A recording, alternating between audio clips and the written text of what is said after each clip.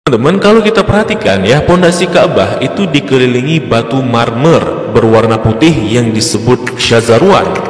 Fungsinya untuk menahan pondasi Ka'bah agar tidak rubuh atau terkikis karena dahulu daerah area Ka'bah berpasir dan terkadang berbanjir. Maka dikhawatirkan hal itu akan merobohkan Ka'bah. Oleh karenanya dibuatkanlah syajarwan ini untuk menopang pondasinya oleh orang-orang Arab dahulu. Untuk era sekarang, syajarwan ini juga berfungsi untuk menghindari adanya jamaah yang terjepit di dinding Ka'bah ketika haji. Nah, di dekat pintu Ka'bah masih di area Syazarwan, kita akan melihat sebuah tanda berupa delapan buah batu mewah. Ini disebut dengan area Mi'jan, merupakan lokasi di mana Nabi Ibrahim dan Nabi Ismail mengadon tanah liat untuk membangun Ka'bah. Begitu pula ini merupakan lokasi favorit Rasulullah Wasallam serta tempat di mana Jibril mengajarkan salat kepada Nabi Muhammad Wasallam.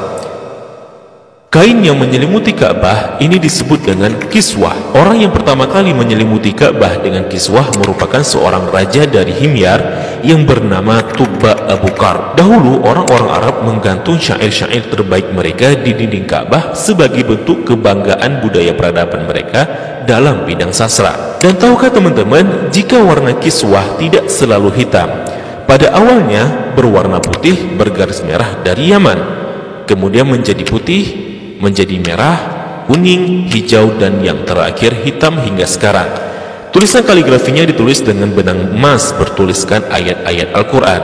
Kiswah juga memiliki kain dalaman berwarna putih yang disebut bithana kiswah untuk meresap panas dari dinding Ka'bah. Biasanya kain kiswah diganti pada tanggal 9 Hijjah dan bekasnya dipotong-potong untuk dihadiahkan kepada orang-orang tertentu. Nah, dari pintu Ka'bah di sebelah kiri pojok Ka'bah tersimpan Hajar Aswad di dalam sebuah cangkang berwarna perak. Pintu Ka'bah sendiri berjarak 2 meter dari lantai. Pada awalnya teman-teman, pintunya sejajar dengan lantai. Namun karena terjadi perampokan isi Ka'bah, kemudian orang-orang Quraisy berinisiatif untuk meninggikannya. Nah, dalam perjalanan sejarahnya, pintu Ka'bah telah berubah-ubah baik bentuk, sendi maupun bahan bakunya. Pintu yang ada sekarang merupakan hadiah dari Raja Khalid bin Abdul Aziz, Raja Saudi dan dilapisi emas murni 99 karat seberat 280 kg dengan total biaya 46 miliar dan itu dana dari tabungan Raja Khalid sendiri. Nah, pintu ini memiliki kunci dengan desain klasik dan secara turun-temurun sejak dahulu kala dipegang oleh keluarga keturunan Kusai bin Kilab bin Murrah. Dan pintu ini hanya dibuka dua kali selama setahun, yakni pada awal bulan Syaban dan awal bulan Zulhijjah untuk dibersihkan. Dan untuk memasukinya diperlukan tangga portable. Dalam Ka'bah sendiri tidak memiliki lampu, sehingga ketika memasuki Ka'bah maka akan diterangi dengan penerangan dari luar. Nah, ketika kita memasuki ke dalam Ka'bah, maka kita akan melihat jika lantai dan dinding dalam Ka'bah dihiasi dengan batu marmer yang dominan putih. Marmer hijau menghiasi lantai dengan bentuk persegi yang dihiasi oleh marmer coklat di sampingnya. Kalau kita salat di dalam Ka'bah, maka garis ini bisa jadi batas safnya. Kalau diperhatikan, maka di sudut terdapat potongan marmer hijau. Ini sebagai tanda bahwa Rasulullah SAW melakukan salat di tempat ini saat memasuki Ka'bah. Begitu juga di bagian pojok dan dindingnya dihiasi satu, dua, tiga marmer hijau. Di bagian atas juga terlihat ada beberapa buah saluran udara yang didesain sedemikian rupa. Jika kita mengadah ke langit, maka kita akan melihat jika langit-langit Ka'bah dihiasi dengan kiswah berwarna hijau. Jika diperhatikan, maka terdapat tulisan Ya Manan yang artinya Maha Pemberi. Kemudian di bawahnya sebelah kanan bertuliskan Ya Dal Jalali yang artinya yang memiliki keagungan. Lalu di sampingnya bertuliskan Wal Ikrami yang artinya yang memiliki kemuliaan. Di bawahnya tertulis penggalan surah Al-Baqarah ayat 144 yang berbunyi Qad nara taqalluba wajhika fis samai falanwalliyannaka qiblatan tardaha fawalli wajhaka syatral masjidil haram. Kemudian di tengahnya bertuliskan kalimat Tauhid La ilaha illallah Muhammadur Rasulullah. Dilanjutkan di bawahnya bertuliskan surah Ali Imran ayat 96 dengan bunyi Inna awwala baitin wudi'a lin-nasi lalladhi bi Bakkah mubarakan wa hudan lil alamin.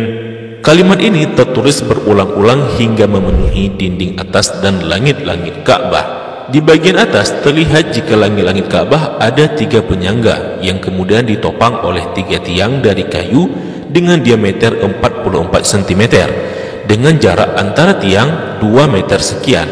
Tiang ini dihiasi dengan enam hiasan cincin terbuat dari emas. Bagian bawah pondasi tiang berbentuk kotak yang besarnya dapat diduduki oleh orang dewasa. Orang yang pertama kali memasang tiang di dalam Ka'bah adalah Abdullah bin Zubair saat pertama kali memugar Ka'bah selepas wafatnya Rasulullah sallallahu alaihi wasallam. Di bagian atas tergantung harta karun berupa kendi-kendi atau lentera kuno yang terbuat dari emas dan perak, merupakan hadiah dari pemimpin-pemimpin negeri muslim pada masa lalu. Kalau ditanya, kenapa kendi-kendi ini masih digantung? Ini merupakan tradisi yang sudah ada sejak masa silam. Nah, di bawahnya Tepatnya di antara tiang terlihat sebuah meja heksagonal berwarna putih dengan atasannya dihiasi marmer hijau. Memiliki kabinet penyimpanan dengan dua pintu dan empat engsel. Memiliki dua pegangan. Ini berfungsi untuk menyimpan bukur dan minyak wangi seperti kasturi, ember, keharu, dan sebagainya yang nantinya digunakan untuk mencuci dan membersihkan Ka'bah dan ini merupakan wadah untuk menaruh wangian. Dua sisi dinding Ka'bah terdapat 1, 2, 3, 4, 5, 6, 7, 8, 9, 10 buah plakat yang tertempel di dinding Ka'bah dengan warna yang berbeda dan terbuat dari batu alam. Salah satu yang mencolok adalah plakat yang tepat berada di depan area Rasulullah SAW. Plakat ini berisi kaligrafi dengan style kufik murabba yang tertulis La ilaha illallah Muhammad Rasulullah. Selain itu juga ada plakat lain yang berisi maklumat mengenai renovasi Ka'bah oleh Raja Khalid bin Abdul Aziz. Sepertinya plakat lain juga berupa maklumat renovasi Ka'bah oleh pemimpin-pemimpin muslim sebelumnya. Di sampingnya terdapat sebuah pintu yang disebut pintu At-Taubah yang sepenuhnya dihiasi dengan emas murni. Di belakang pintu ini ada sebuah tangga yang mengakses ke atas Ka'bah. Dari atas dapat dilihat jika ada pengait untuk mengikat kain kiswah dari atas. Dan bahkan kita bisa juga salat di atas Ka'bah. Jika Ka'bah tidak diselimuti kiswah, maka penampakannya akan seperti ini. Nah, kiswah Ka'bah akan diganti setahun sekali dan harganya mencapai 50 miliar dengan berat 650 kilogram. Kiswah juga berfungsi untuk menghindari dinding Ka'bah dari keretakan akibat panas. Nah inilah gambaran dari Ka'bah dan apa-apa saja yang ada di dalam Ka'bah.